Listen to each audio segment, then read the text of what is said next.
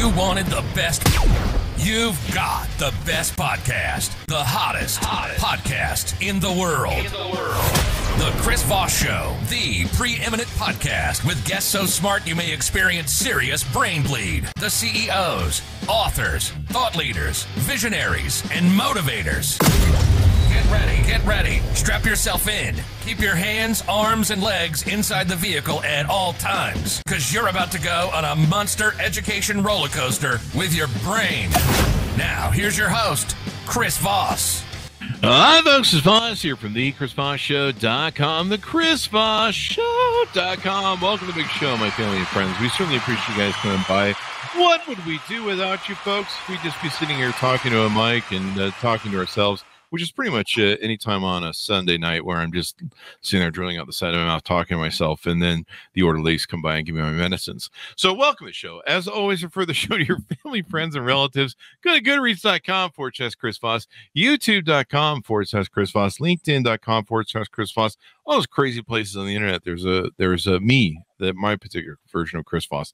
Um, today we have an amazing author on the show, and gosh darn it, do we always have the smartest authors on the show, the most brilliant people?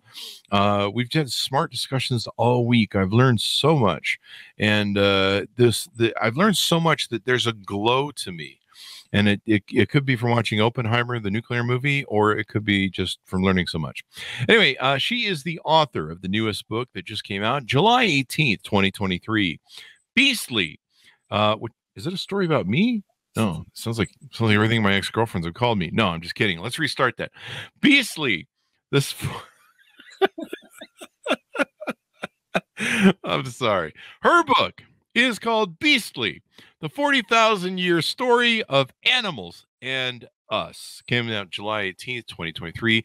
Keggie Carew joins us on the crew today, and she's going to be talking to us about her latest book. She is the author of Dadland, uh, which won the 2016 Costa Biography Award. Before writing, her career was in contemporary art.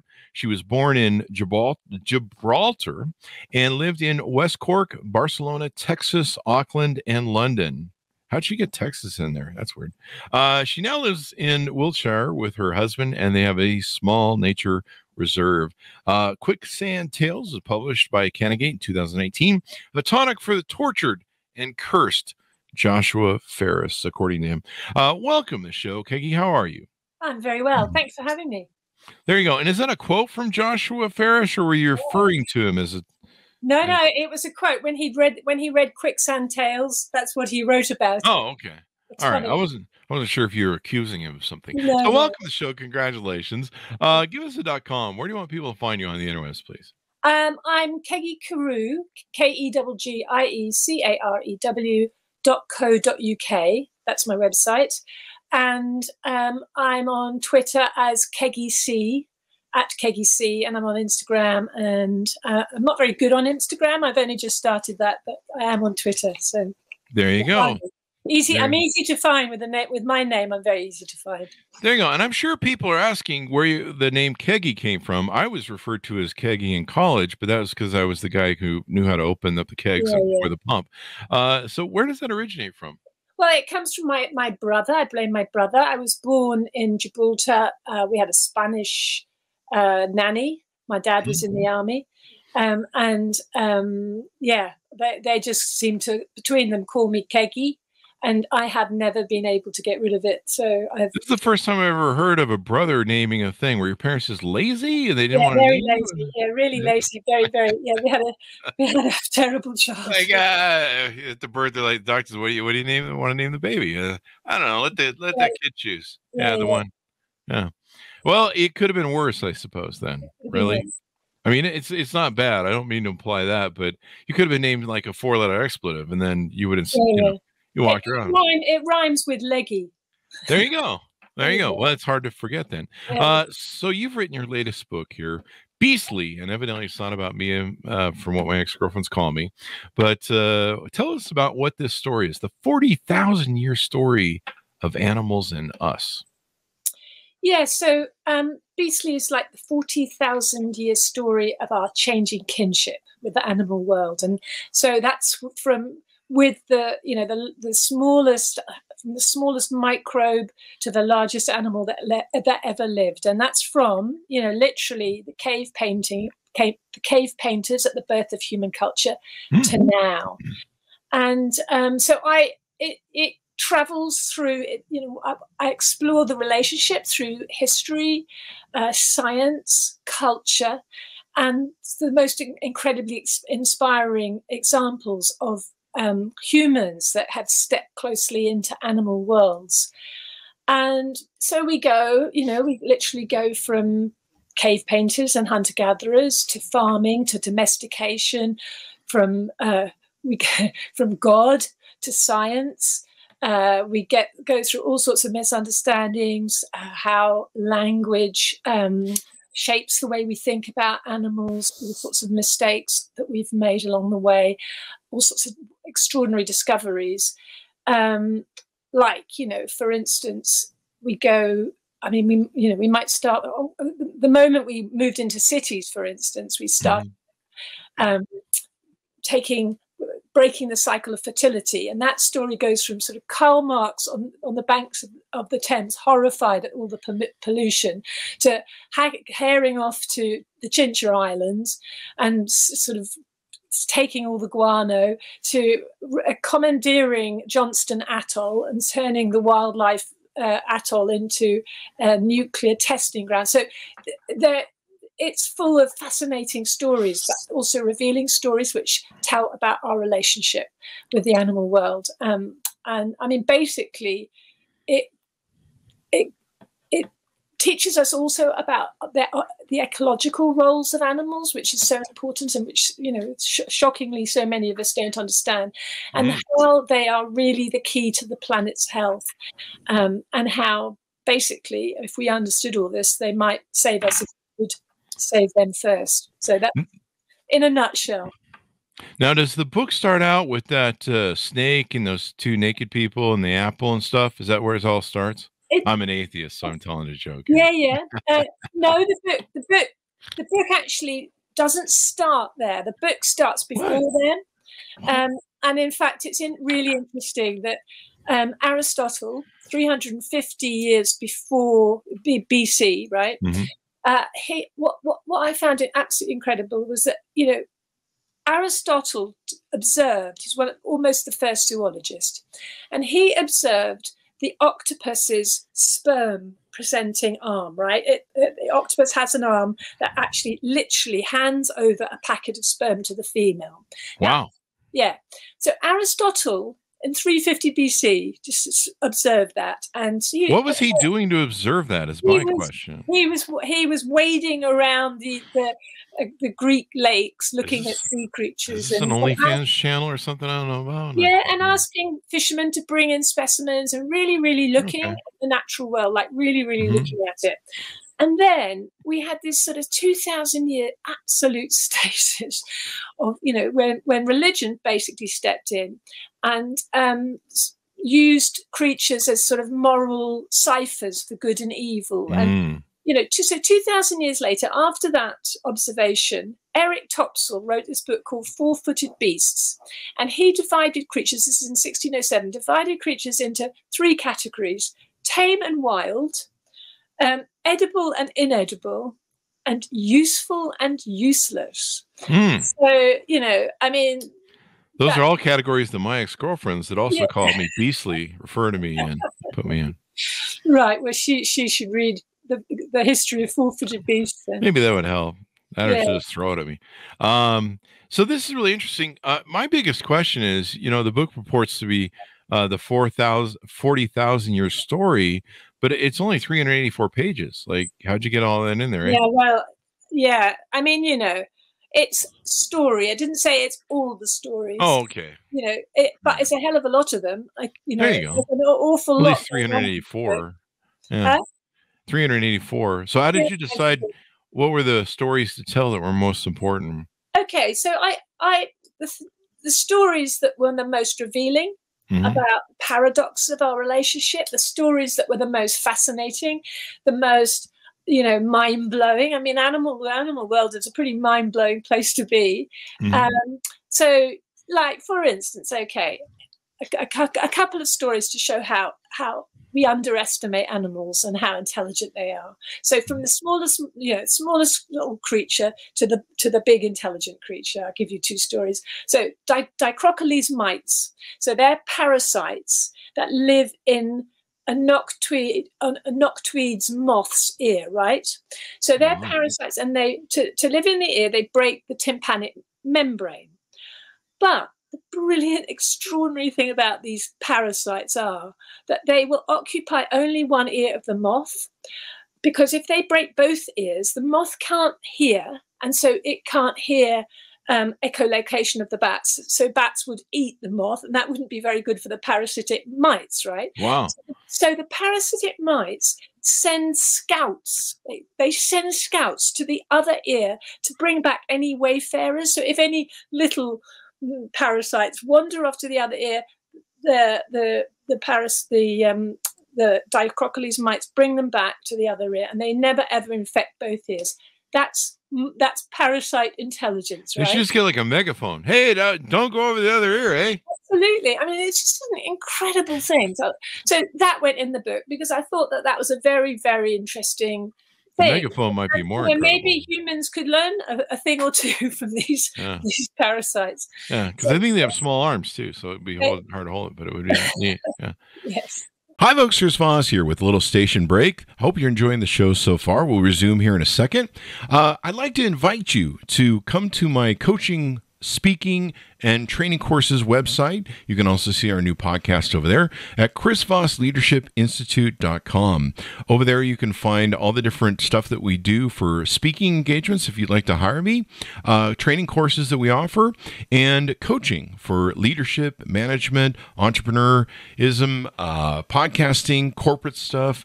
Uh, with over 35 years of experience in business and running companies as CEO. And be sure to check out Chris Voss Leadership institute.com. Now back to the show. And, and, do you talk about how this developed or why this developed? Uh, some of these things developed in that way.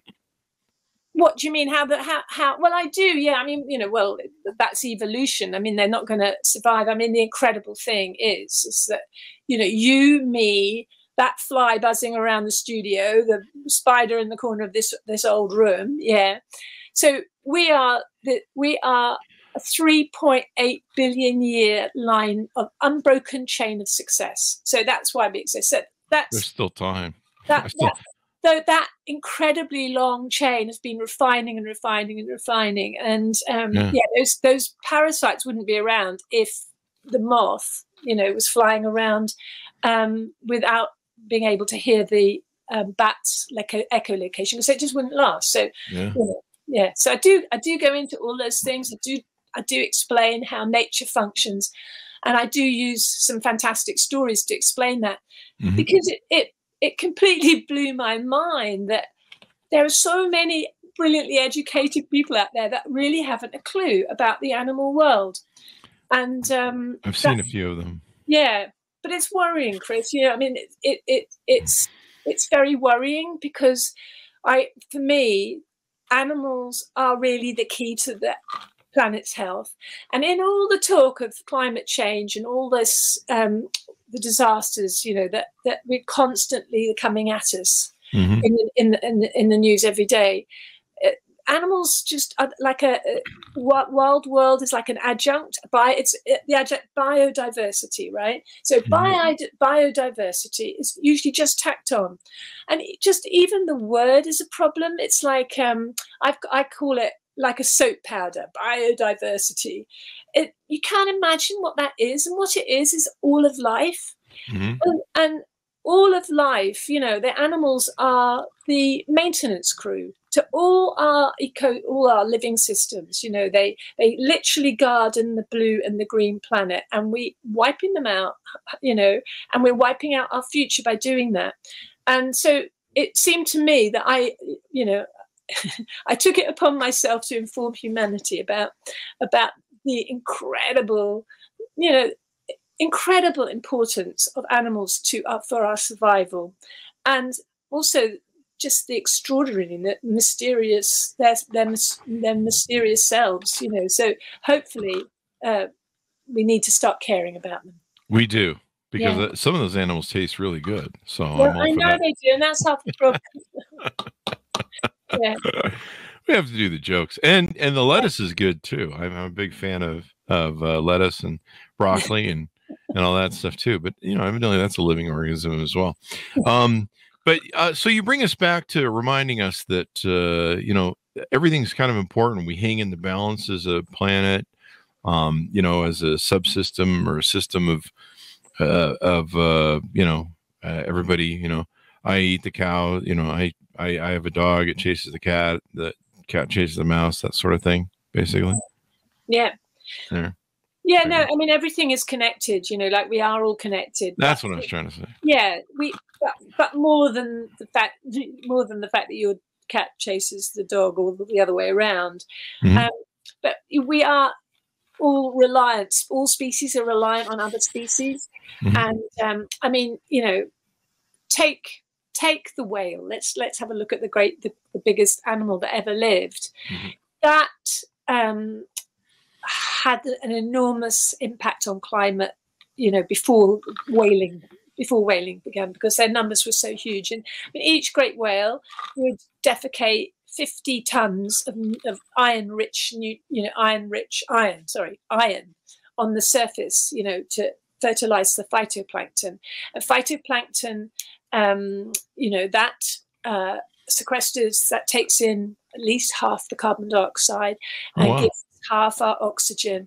And the whales, uh, the phytoplankton feeds all the whole of the marine system. So whales are known as the whale pump. So they're just a ma- massively ecologically important creature. So I'm basically breathing whale shit.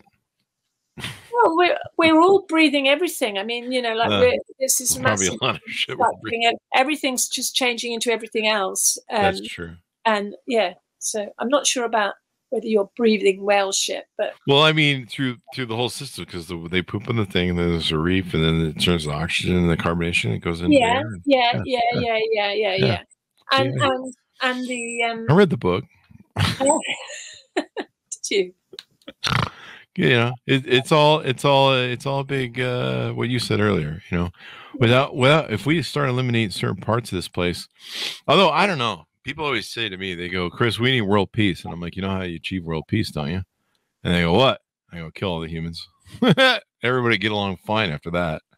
Well, um we seem to be the the continual problem on that. In fact i've seen oppenheimer. I'm not sure that you know th- this might be the last issue of the book. I'm not sure there'll be a beastly part two no, well, I mean, you know, I'm that gen. I'm the generation that was terrified of nuclear um, yeah bombs. You know, like I, I we were both under desks okay, cowering from the. Russians. Yeah. Um, I, I went to bed as 15 year old, really scared, wondering whether somebody's going to put the finger on the button every night for a long time. I remember, Mhm.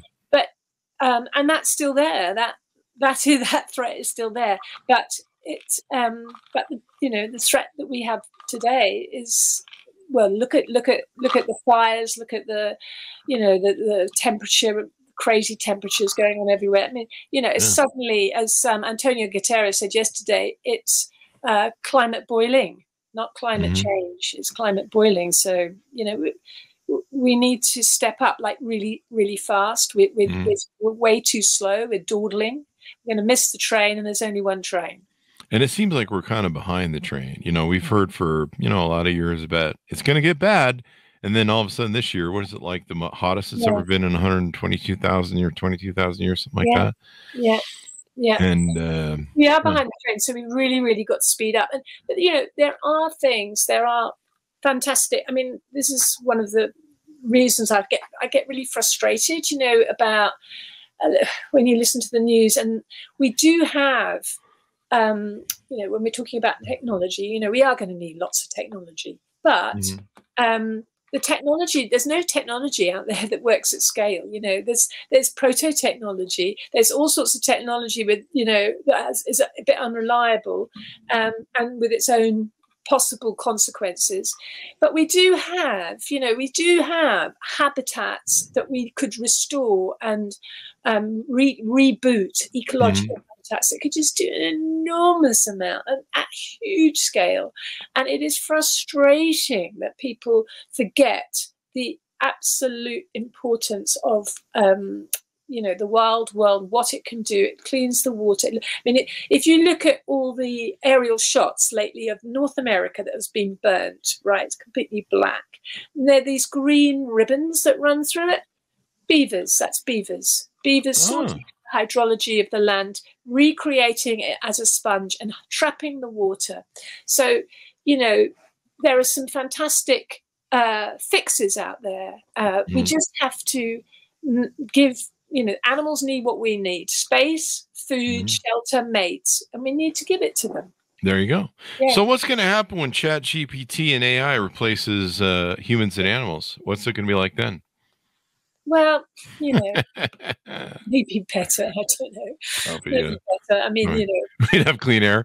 It'd be Yeah. like when, like during COVID, how you know the environment cleaned up a little bit in Yeah. cities and stuff because no one was driving around. yeah yeah, Yeah. I mean, it, you know, it's a bit sort of Franken, you know, a beautiful Frankenstein story maybe is just about round the corner. Who knows? I'm surprised it's not here yet, but there's still time. So there we go. Uh, so, what do you hope people come away with on your book? What do you hope that they walk away with going, "Holy crap"? I, I, I want people. I really, really want people to understand not only the importance of animals' ecological ro- roles, but their incredible abilities and intelligence, and just to be aware. You know, like it, it, this happens in small, you know, small in small ways and in big ways. You know, we need some big things to happen, but you know, even in mm-hmm. small, even in small ways. You know, you chop, you, you cut down your the bush outside. Well, a whole load of sparrows. Okay, I, I know sparrows don't live over there, but they live over here, and we nearly lost them. You know, there's Oh, wow. there are really, really very few of them here now.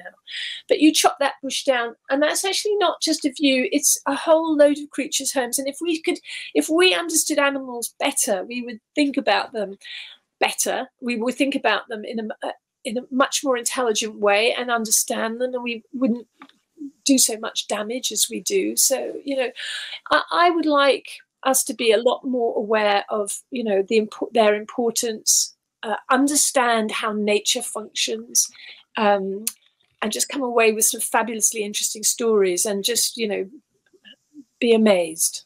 There you go. Yeah. Well, I'm going to go like more uh, animals on Facebook and like their posts, so I can support them in that. I don't know if that's the proper way to do it. but no, this has been really insightful. And no, it, it's important that we understand our nature and our balance, right? And, uh, you know, that even though we're, we think we're top dog in the universe, who knows, the aliens could be top dog. Um, you know, and I don't know, the spiders are making inroads. Yeah, I mean, you know, we're we're definitely we're definitely not top dog. I mean, we're we're unlikely to be the ones that survive at the end of this. You know, cockroaches, rats, maybe, Cockroaches, but, you know, we're, we're we should be careful. We should be really- Cockroaches and U.S. House members, from what I understand, in the Congress will survive a nuclear war. yeah, Uh, that's possible. That's so, so there you go. Well, it's been wonderfully on the show, Keggie, and uh, exciting to see your book get launched, and uh, hopefully everyone will read it and understand uh, how important this is because you know we, we all need to live together on this planet uh, with the fellow animals because if we Yes. don't, like they might eat us. eh, And I don't want that. Well, it's you know, it's the planet's other inhabitants. You know, like we're not the only ones. It's we, there Yeah. are a whole load of other inhabitants. Wait, there's other Yeah. people there. they, they, they are so so important you know if you don't have if you don't have a few insects flying around you're not going to be eating anything there's going to be no pollinators you know no nothing to recycle anything i mean we're going to be stuffed so we, we should take note Yeah, there you go. There you go. Well, thank you for coming on. Give us your dot com so people can find you on the interwebs, please. Uh, it's Keggie Carew, E K-E-G-G-I-E-C-A-R-E-W dot co dot UK. Although if you put in dot com, I'm sure that would get you there eventually. Or, or at Keggie C. There you go. Yeah. There you go. Well, thank you very much for coming on the show. We really appreciate it. Thanks, Monis, for tuning in. Go to goodreads.com, Fortune's Chris Voss, LinkedIn.com, Fortune's Chris Voss, and YouTube.com, Fortune's Chris Voss, all those crazy places on the internet. Thanks for tuning in. Be good to each other. Stay safe. We'll see Thank you you. guys next Thank you, time. thank you, thank you.